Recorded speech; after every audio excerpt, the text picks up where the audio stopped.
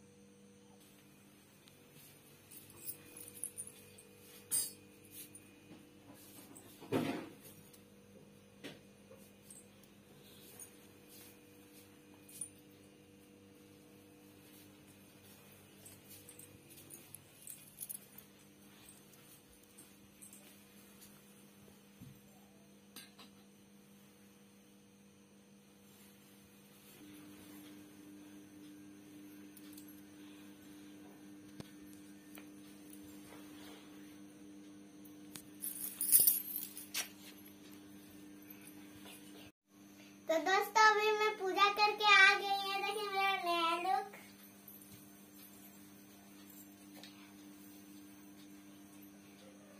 तो प्लीज़ इस वीडियो को